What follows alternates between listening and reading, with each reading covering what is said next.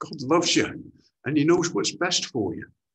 And the most amazing things can happen when you trust Him.